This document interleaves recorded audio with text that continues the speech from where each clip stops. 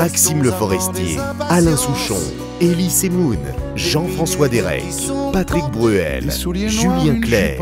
Location point de vente habituel.